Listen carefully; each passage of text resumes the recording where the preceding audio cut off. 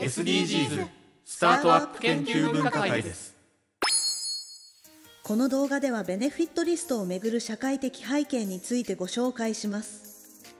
ベネフィットリストはロジックモデルで言語化した目的に近づくためのツールで私たち分科会のオリジナルツールです。こちらが当分科会のベネフィットリストの実例です。SDGs スタートアップ方法論のフレームワークではベネフィットリストの作成はロジックモデルを作成した次のステップになります。ロジックモデルで定義した活動がもたらすベネフィットの妥当性を検証し説明できるようにすることを目的としておりベネフィットリストを活用することによってベネフィットの評価対象評価方法を一覧的に示し明確に把握管理合意しやすくなります。ロジックモデルの新規作成時または修正時などロジックモデルを検証するタイミングでベネフィットリストを利用することを想定しています。方法論で活用するツールと技法のサイクルを見てみると最初にデザイン思考をベースにしながらリーンキャンバスを作成。ミッションビジョンを明確にしながら戦略計画を立案するプロセスを経てロジックモデルを作成。得られるベネフィットを定義しながら達成度合いを評価できるようベネフィットリストを作成。実行計画に落とし込んで実際に事業を推進しながらベネフィットを測定します。そして必要に応じてリーンキャンバスを修正しながらこのサイクルを素早くアジャイルに繰り返して最終目標を達成していきます。ベネフィットリストは活動がもたらすベネフィットの妥当性を検証しステークホルダーに説明するための強力なツールと技法です。2017年11月8日 SDGs 達成を前面に押し出す形で経団連は7年ぶりに企業行動検証を改定しました。大手企業の方々が胸に SDGs バッジをつけたり経団連の記者会見バックボードが SDGs になったのもこの頃からのトレンドです。また経団連は内閣府が提唱しているソサエティ5.0と接続して SDGs の達成に大いに貢献すると謳っています。背景には各企業の社会に対するアプローチや認識が大きく変わってきたことにあります。ESG 投資に代表されるように環境社会へのプラスマイナスの影響に対する企業責任が問われ同時に社会や環境問題解決に対する企業への期待も大きくなってきました。GPIF 年金積立金管理運用独立法人は日本において厚生年金と国民年金の年金積立金を管理運用する機関でその運用資金額は150兆円と世界最大の投資規模を誇ります。GPIF は2015年に PRI に著名しました。PRI とは責任投資原則と呼ばれ国連が定めた原則で解決すべき課題を環境社会ガバナンスの3つの分野に整理してそれぞれに配慮した責任投資を行うことを宣言したものです。この3分野の英語頭文字を取って ESG 投資と呼ばれています。こうして投資家の間で ESG 投資や SDGs を重視する潮流が出来上がってきました。結果として ESG や SDGs に配慮していない企業には積極的な投資がなされなくなります。投資する側にとっても投資を受ける側にとってもこれからもその関心はますます高まっていくことでしょう。こうした背景についてもう少し具体的に考えてみましょう。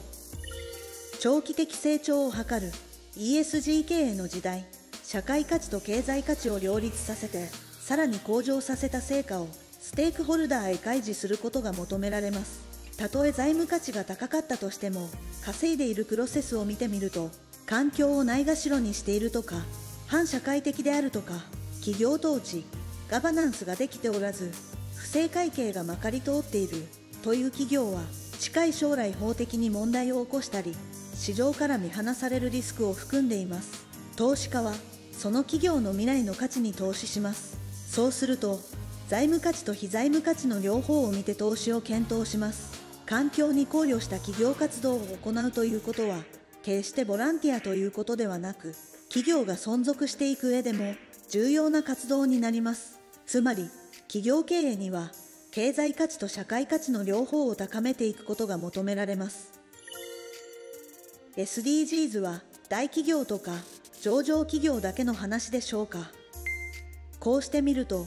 中小企業と SDGs の距離は遠そうに見えますよね。ただ、マーケットのゲームチェンジはすでに始まっています。当然のことながら、日本政府も SDGs にコミットしており、経団連も行動検証を変えてきました。消費者庁を中心に、エシカル消費というマーケットの文化もできました。先ほどご説明しましたが、ESG 投資基準を軸にして、投資家は企業に対する投資を判断します。銀行も同様です。そうしますと、中小企業であっても、大企業のサプライチェーンの中にある取引先には、SDGs の基準を求めていきます。こうなってくると、中小企業にとっても他人事ではなく、周りは SDGs というものに囲まれています。バリューチェーン全体で SDGs を目指す時代です。チェーンの中の5社も ESG 基準で評価され、省流全体に対して ESG の基準が求められます。SDG コンパスによると、持続可能性の課題は、企業単独では効果的に対処することはできない90%の回答がありました。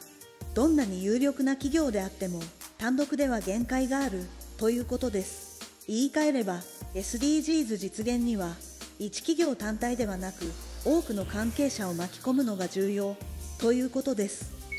これは、孤立したインパクト、 Isolated Impact と、集合的インパクト、 Collective Impact を対比した表です。 Isolated Impact とは、単独の組織が個別に特定の社会課題の解決に取り組むアプローチのことです。意思決定が早くなるという利点もありますが、複雑化、相互依存化した社会においては、課題解決に限界があります。それに対して、コレクティブインパクトとは、異なるセクターの様々な主体が共通のゴールを掲げて、特定の社会課題の解決に取り組むアプローチのことです。経営資源を集中的に投下するため、時間はかかりますが、大規模な社会変革を起こすことができます。複雑化した社会課題は、企業や行政、NPO などが単独で解決するのが難しい時代です。そこで、行政、企業、NPO など、異なるセクターにおける様々なプレイヤーが集まって、共通のゴールを掲げ、お互いの強みを出し合いながら、社会課題の解決を目指すアプローチを取る潮流ができました。共同で課題に取り組むことで、一組織では成し得ないインパクトを作る。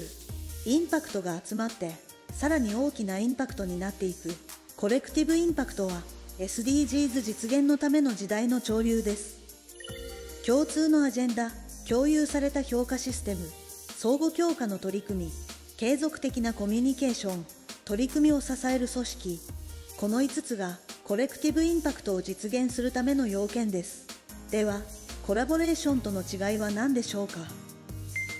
コラボレーションは、お互いのビジネス効果を高めるための一過性の協業です。一方、コレクティブインパクトは、その場限りの一過性の協業ではなく、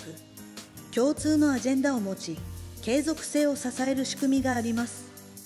この継続性を支える仕組みの中心的な役割を担うのが、民間企業や行政、NPO などの非営利団体です。多様なステークホルダー間のコミュニケーションには、共通の言葉と物差しが必要です。同じものを見ていても、異なる解釈をしてしまう、といったことが起こりがちです。そんな時、共通の言葉と物差しは、とても重要な意味を持ちます。また、パートナーシップの信頼を構築するには、透明性ある説明が必要になります。ここで、透明性ある説明の基準となる報告の原則について触れておきます。これは GRI の持続可能性に関する報告の10の原則で、報告とコミュニケーションの原則として有用とされています。ポイントとなる部分をピックアップしてご説明します。1、ステークホルダーの包摂、ベネフィットリストでいう、恩恵を受けるステークホルダーの特定です。実際には、マイナスのインパクトを受けるステークホルダーも特定しなくてはなりません。誰一人取り残さないという観点を忘れずにステークホルダーを特定していきます。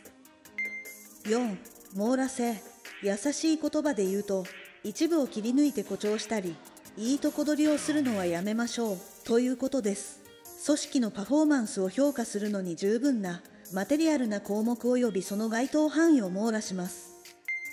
6. バランス良いことだけではなく都合の悪いこともちゃんと洗い出してオープンにしましょうということです。8. 比較可能性例えば毎年評価項目を変えてしまうと経年で変化を追えなくなってしまいます。一貫性を保って情報の選択、編集、報告をしなければなりません。9. 信頼性改ざんや捏造なく検証可能な方法で情報を取り扱うことが求められます。10. 適時性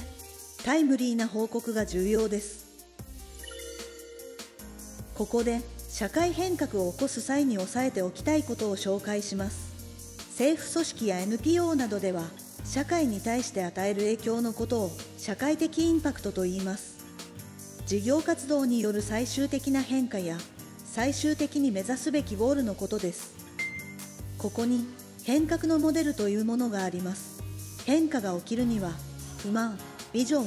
最初の一歩の掛け算が変化への抵抗を超えないといけないというものです。社会的インパクトはビジョンの部分に該当します。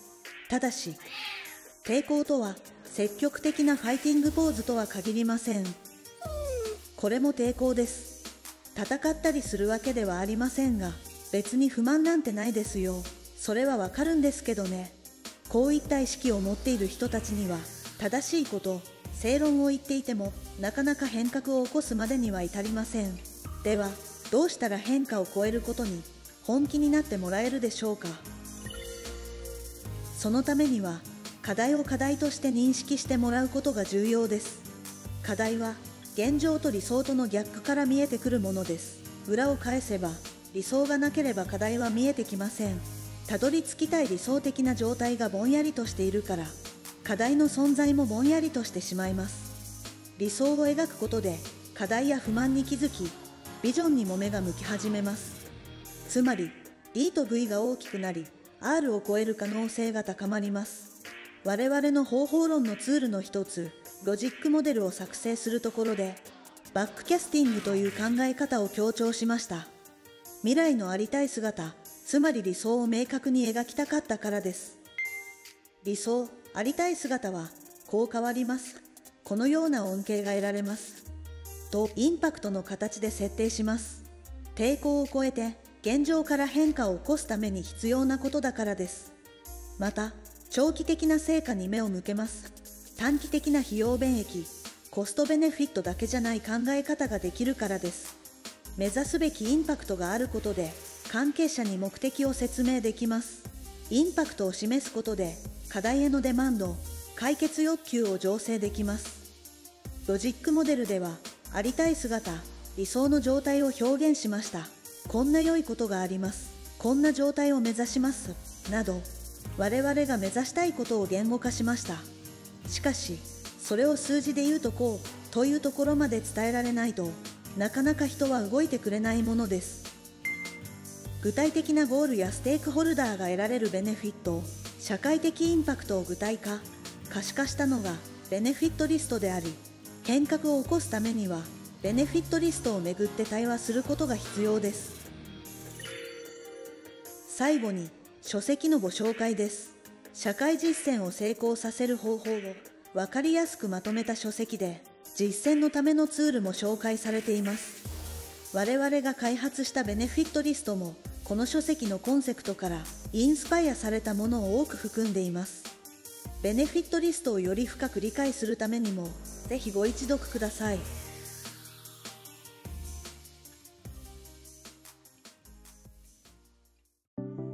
最後までご覧いただきありがとうございました。これからも SDGs スタートアップ研究分科会の活動に関する動画をどんどんアップしていきます。是非チャンネル登録をよろしくお願いします。それではまたお会いしましょう。